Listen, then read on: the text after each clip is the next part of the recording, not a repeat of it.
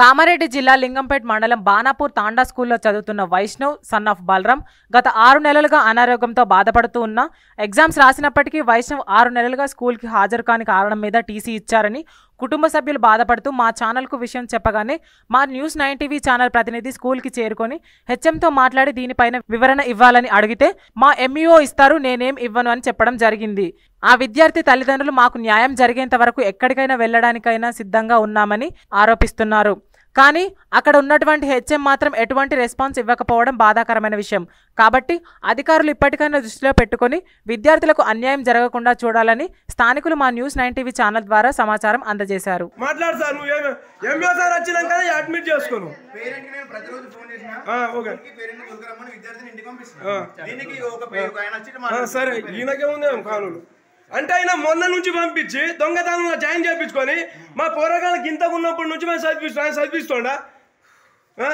నువ్వు కూడా ఆయన ఆయన బెదిరిస్తాడు కదా ఆయన పోలీసు నేను ఏదో అనుకుంటాడు కదా. సరే ఆయన కూడా తీయను కదా. నువ్వు మాత్రం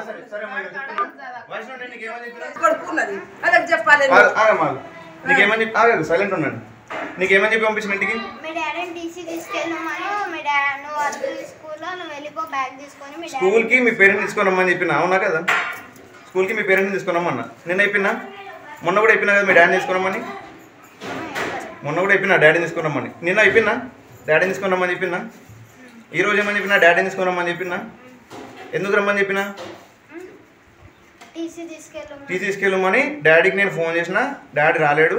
ఈ రోజు కూడా ఫోన్ చేసినా రాలేడు కాబట్టి టీ- రమ్మని చెప్పిన అంతేనా? సరే అది మాట్లాడుతున్నారు ఎన్ని రోజుల నుంచి వస్తుండే అబ్బాయి అది అడగండి. ఎన్ని రోజుల నుంచి వస్తుంటే అది కూడా చెప్తా. మొన్న నా ఇంటికి పంపించిన మొన్న ఇంటికి పంపించిన కదా?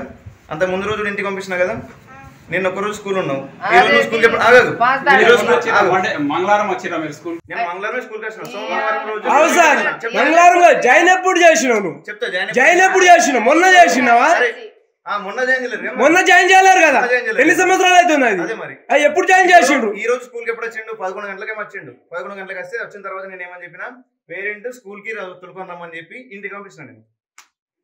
తీసుకెళ్ళడానికి రమ్మని చెప్పిన దేనికి పంపించాడు? అది చెప్పు ఎన్ని రోజుల నుంచి వస్తున్నావు?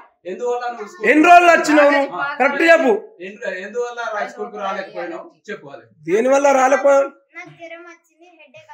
అది నాకు మాకు చెప్పక ఎవరికి జ్వరం రాలేదు. మా పోరగాళ్ళు చిన్నప్పటి నుంచి అంగన్వాడి నుంచి చదువుతుండ్రు. నీకు ఎట్లా జ్వరం వస్తుంది? సంవత్సరం దాకా సంవత్సరం దాకా నీకు జ్వరం వస్తుందా? ఆ, మాట్లాడు నువ్వు ఎస్పీ దగ్గర పో నువ్వు వాళ్ళకి మేము కూడా మాట్లాడు.